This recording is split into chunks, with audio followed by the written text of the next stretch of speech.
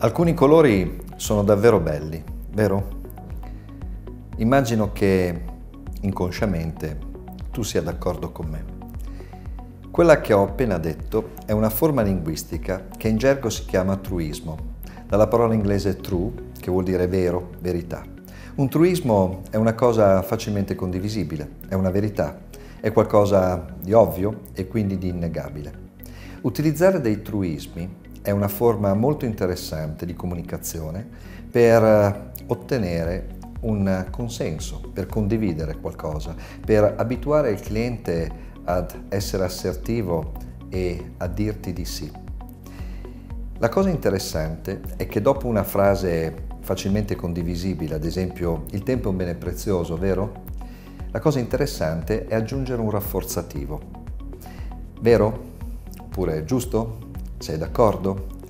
La teoria senza la pratica non porta lontano, dico bene? Mi interessa negoziare con successo, giusto? Sto usando dei truismi e dopo questi truismi sto mettendo un rafforzativo, vero? Giusto? Sei d'accordo? Se alla fine di una frase tu aggiungi un rafforzativo, tu aumenti del 15% le probabilità di ottenere un sì.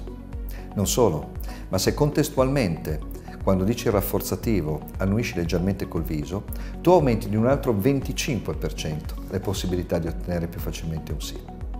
15 più 25, 40% in più di possibilità di ottenere un sì.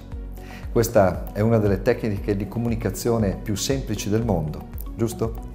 E quindi immagino che da stasera ti divertirai a metterla in pratica, dico bene? È chiaro che non lo puoi fare sempre, se no non fai una bella figura. Tuttavia un bravo negoziatore ogni tre minuti ottiene un sì, con un truismo, con una face, frase facilmente condivisibile, a cui dopo aggiunge un rafforzativo. Utilizzare queste frasi non è un dettaglio. Utilizzare queste frasi significa abituare inconsciamente il nostro interlocutore ad essere d'accordo con noi.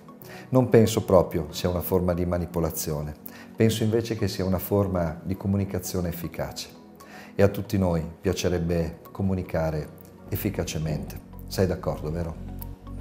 Sono Emanuele Maria Sacchi. Buon lavoro.